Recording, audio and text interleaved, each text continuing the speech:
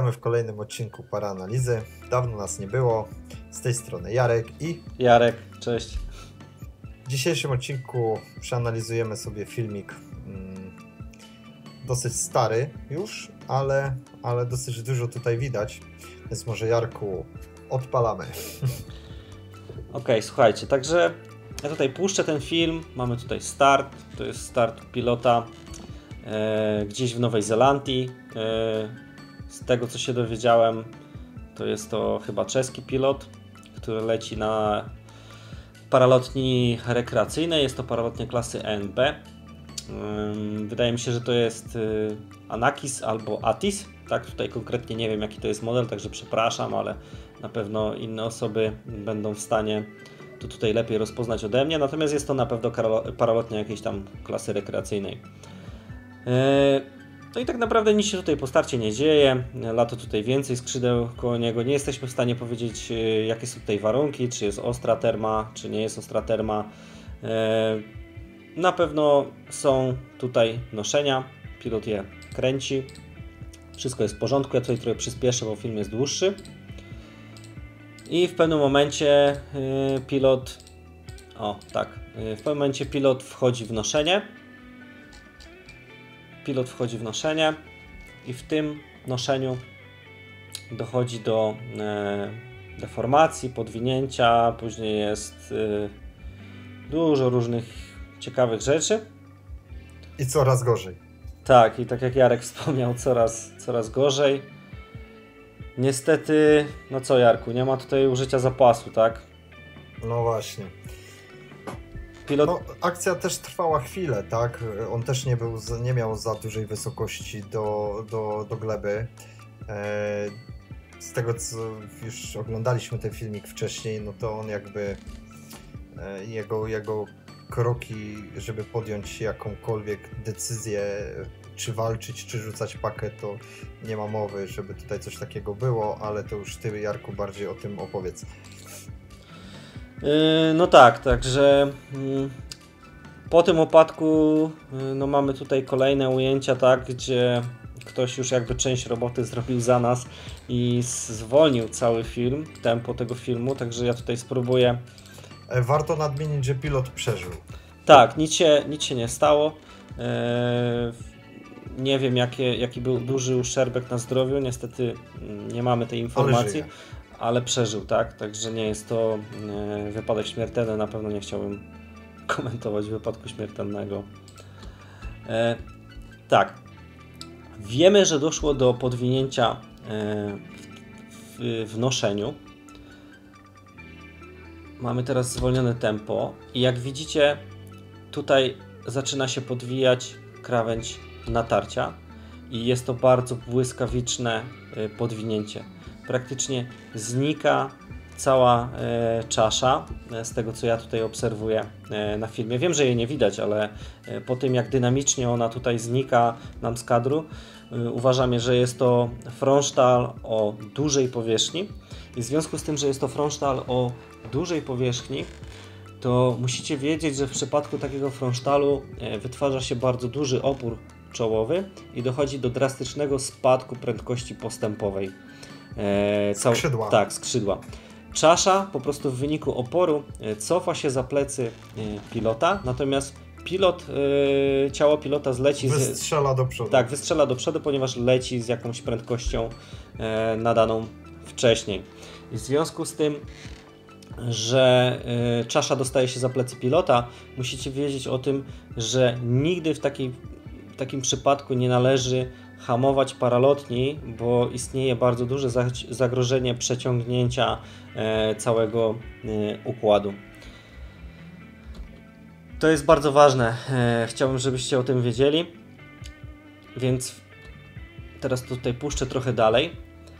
I ten moment, kiedy czasza zniknęła za jego plecy, trwał chwilę tak naprawdę. I tutaj widzicie, że po chwili od razu wystrzela do przodu. I w takiej sytuacji, kiedy ona wystrzela do przodu, yy, tutaj lekko asymetrycznie, przynajmniej tak wynika jakby yy, z tego, co Z położenia. tak, z położenia e, paralotni, z tego co ja tutaj widzę, należy przyhamować skrzydło wprost proporcjonalnie do siły, z jaką zamierza nas wyprzedzić. I gdyby pilot to tutaj zrobił i nie nadreagował, to poleciałby dalej i nic by się nie stało, kręciłby następne noszenia i wszystko zakończyłoby się happy endem. Ale tak się nie dzieje. Tak się nie dzieje, ponieważ tutaj widzimy, że krawędź spływu jest zaciągnięta i pilot y, nadreaguje. Ma tak zwany efekt y, ciężkich rąk. I dochodzi jeszcze do lekkiego twistu w taśmach o no prawie tak 180 stopni. Tutaj nie ma pełnego nie ma tutaj pełnych 180 y, stopni. Natomiast E, paralotnia nie odzyskała całkowicie prędkości postępowej i dochodzi do oderwania strug na długości e, całego płata i paralotnia znowu się przeciąga. Nie ma prędkości postępowej. Sterówki, jak widzicie, cały czas są tutaj e, zaciągnięte. Pilot, mm, to jest kolejny błąd, tak? Pilot ma cały czas wyprostowane nogi na podnóżku. Musicie wiedzieć, że E, w przypadku deformacji wasza reakcja powinna być taka, że jak najszybciej powinniście nogi. wziąć, tak jak Jarek mówi, tak? pod... Nogi pod siebie. Tak, wziąć nogi z podnóżka i skrzyżować je jak najszybciej pod deską uprzęży. Dlaczego? Dlatego, że dzięki temu zmniejszacie moment bezwładności pilota pod skrzydłem, co wpływa na tendencję e, skręcania w taśmach. I on jak. tak, i on jest, on jest tutaj znowu skręcony o, na drugą stronę, tym razem już o prawie 180 stopni, e, ale znowu tutaj hamuje to skrzydło, nie pozwala mu e, lecieć e, do przodu. Tak, i tu jest taki moment, kiedy odpuścił sterówki do góry. Zauważcie, tak. że ręce są podniesione. Tutaj to widać na bloczkach. Tutaj w tym miejscu i tutaj widać w tym miejscu, że podniósł je do góry. I to jest moment, w którym znowu paralotnia chce lecieć. I gdyby on wytrzymał tutaj y, dłużej w tym momencie, to paralotnia odzyskałaby prędkość i uratowałby się, to ma drugą szansę, uratowałby się drugi raz tak. Y, z całej tej sytuacji i poleciałby do przodu. Teraz występuje przestrzał czaszy pilota. Tak jest bo sterówki są odpuszczone do góry. Tutaj ta lewa strona jest trochę więcej hamowana, ale to w niczym nie przeszkadza, ponieważ ten, ta prędkość wypełniania jest tak duża, że ten przestrzał wystąpi. I tu znowu wystarczyło tylko y, delikatnie zaciągnąć y, sterówki, żeby zatrzymać ten przestrzał i pozwolić jej polecieć do przodu. Ale znowu się tak nie dzieje, bo E, pilot cały czas trzyma no, nogi na podnóżku e, wysoko do góry i hamuje, zauważcie, znowu hamuje tą paralotnię. Czyli kolejny błąd jest taki, że on się zachowuje tak, jakby próbował się chwytać czegoś mm, w, tak w powietrzu, tak? tak. Ja chciałem dodać, że chyba bardzo dużym błędem tutaj jest źle założone yy, źle założone sterówki na dłoniach, bo widać nie dosyć, że pilot ma dosyć grube rękawiczki, to widać w jaki sposób, w jaki sposób ma założone te sterówki. Na samym początku, jak on startował, było widać, jak on je zakłada. On po prostu sterówkę. Włożył sobie rękę do środka i złapał linkę. I tutaj widać właśnie, mm, bardzo często mówi się o tym, żeby jednak mieć tam swój sposób na łapanie tej sterówki. Kiedyś widziałem bardzo fajny filmik Grzegorza Olejnika, y, w którym pokazywał, jak dobrze łapać sterówki. I tu jest właśnie wielki błąd. I gość ewidentnie widać po tym, jak nogi idą mu do góry, więc on automatycznie ciałem jest e, głową mm, do dołu, więc on po prostu się ratuje i on się chce złapać, tylko jakby cały czas tymi rękami operuje na tych sterówkach, bo on się po prostu chce łapać tych sterówek, które ma i tak zaczepione o dłonie. Może za bardzo rozwinąłem akurat ten, ten wątek. Znaczy tobie chodzi, ale... E, tobie chodzi o to, że jeżeli te sterówki są przełożone po prostu tutaj na nadgarstki i mamy grubą rękawiczkę, znaczy, Każdy ruch to... ręką generuje ruch sterówki, no taka prawda. Tak, tak, to, to, jest, to, to, tak, to jest ważne, a w sytuacji, kiedy skrzydło jest y, w takiej fazie niegłębokiego przeciągnięcia, ale w fazie spadochronowania, to każdy mikroruch wywołany na sterówkach ma wpływ na proces regeneracji y, czaszy, także to tutaj e, trzeba podkreślić. A jak on upada na dół, jak on, słuchaj, jak on upada na dół, po prostu kładzie się, wiesz, głową na dół, przodu, no to on automatycznie chce się czegoś złapać. To jest jakby odruch taki, nie wiem, e, bezwarunkowy, trudno mi powiedzieć, ale ewidentnie widać, że on bardziej chyba walczy o swoją pozycję w uprzęży niż, niż po prostu same skrzydło. Nie wiem, Jarku, kontynuuj, bo jakby jakoś tak dziwnie na to patrzę. Yy, nie ma sprawy. Yy, słuchaj, także, znaczy ważne jest to, to, to, co trzeba podkreślić, że im głębiej jest ta po prostu sterówka przełożona przez nadgarstki, tym trudniej może ją być też wyciągnąć yy, rękę tak jakby ze sterówki w sytuacji krytycznej w celu skorzystania z zapasu, bo każdy ułamek sekundy jest A, ważny, tak. tak? Także mm, o tym też musimy yy, pamiętać. No i no i tak, ja tutaj wrócę kawałek tutaj do tego, kiedy. Tak, i tutaj był moment, kiedy to skrzydło znowu prawie praktycznie cały czas jest yy, wypełnione. Wystarczyło podnieść obie sterówki do góry i skrzydło wypełniłoby się, odzyskałoby prędkość postępową o. i poleciałoby do przodu. Natomiast znowu tak się nie dzieje. Tutaj jest ta sytuacja, yy, o której wspomniał yy, Jarek. Zobacz, zobacz, zobacz, patrz idealnie teraz zatrzymaj ten kadr przed chwilą widzieliśmy jego sterówkę, e, jego rękę po prawej stronie. O, o, o, było. Tak. E, jego ręka po prawej stronie. Widać, że on ciałem w tej uprzęży kipie się na prawą stronę i teraz on tak, on się po prostu oparł na tej sterówce. Zobacz, on nawet dłoni nie ma otwartej, on ją ma cały czas zamkniętą, ściśniętą. On się oparł na tej sterówce, nogi mu poszły w lewo do góry Zobacz, widzisz? Nogi mu poszły do góry, bo i teraz zobacz, jak bardzo jest naciągnięta ta prawa strona. I teraz popatrz na skrzydło z prawej strony. One jest totalnie przeciągnięte z prawej strony. Po prostu on cały czas on walczył o pozycję w tej uprzęży. Jak nim zaczęło rzucać, to on jakby nie patrzył na to, żeby ze skrzydłem walczyć, tylko o pozycję. I tu idealnie widać, jak, jak on po prostu opiera się na tej prawej sterówce, dlatego mu nogi poszły w lewo do góry. No tak jest akurat moje zdanie.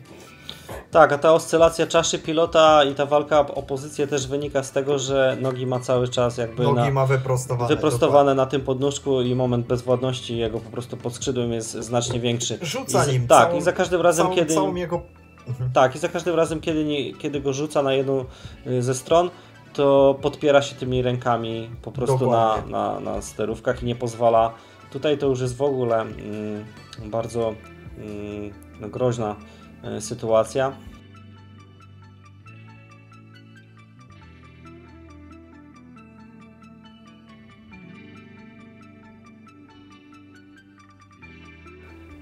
Tak, teraz jest moment, kiedy znowu skrzydło odzyskuje jakby mm, swoją. Mm, znaczy, wypełnia się tutaj tak.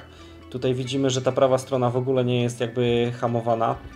Y, jest tutaj mały krawat, ale to jakby nie jest jakby jakaś strasznie groźna y, sytuacja w mojej y, ocenie. To się zresztą mm, prawdopodobnie tam szybko wypełni. Wystarczyło, żeby znowu podniósł ręce do góry i poleciałby do przodu. Także tych sytuacji kiedy mógł się jakby z tego wszystkiego uratować, było. Trzy jak nic. Tak, było, było więcej. Natomiast kardynalny błąd, jaki ja tutaj widzę, jest taki, że pilot ani przez chwilę nie pomyślał o użyciu zapasu, tak?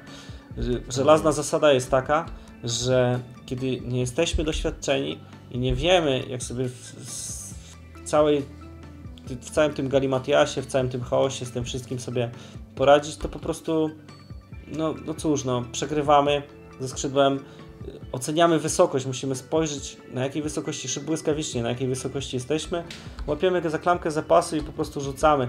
Nie ma, nie ma żadnego wstydu, yy, nie ma żadnego wstydu, że zapas. tak, nie ma żadnego wstydu, że rzucimy po prostu zapas. Yy, jak skorzystamy z zapasu, to yy, przeżyjemy. Tutaj już tego nie będę komentował, bo to są te same błędy, tu już za dużo nie, nie widać, jest jeszcze większy jakby twist.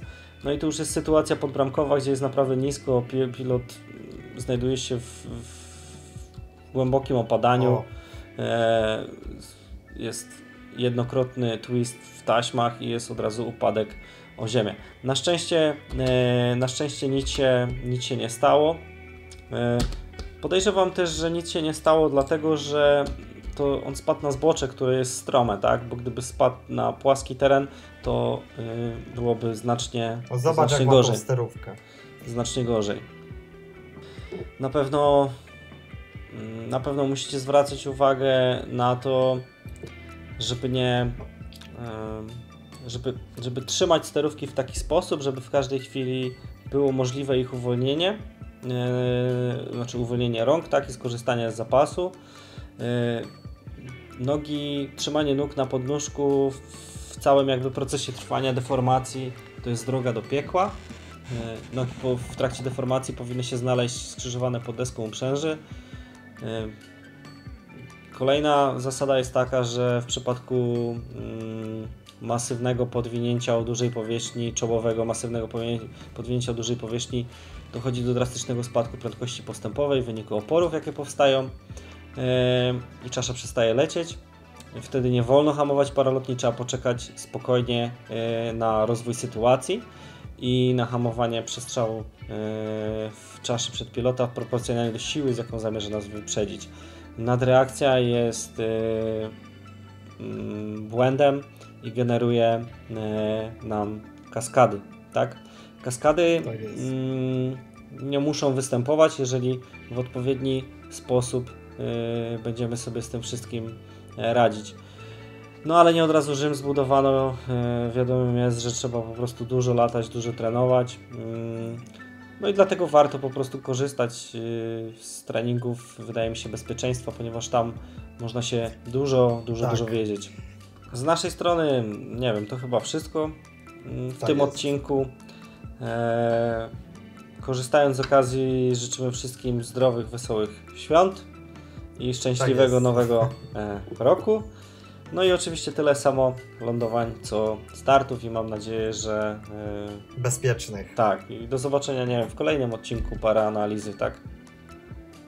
Dziękuję bardzo. Zapraszam, ja ze swojej strony zapraszam jeszcze na kanał Jarka. E, Jarek ma swój kanał. Link będzie w opisie do jego kanału. Bardzo dużo ciekawych i pomocnych materiałów. Tak więc żegnamy się z Państwem. Dziękujemy. Pamiętajcie, żeby zasubskrybować, polubić. Jeżeli e, chcielibyście z nami porozmawiać na temat danego filmu, śmiało piszcie w komentarzach. E, no co? Dziękujemy. Miłego dnia życzymy. Cześć, hej. Cześć.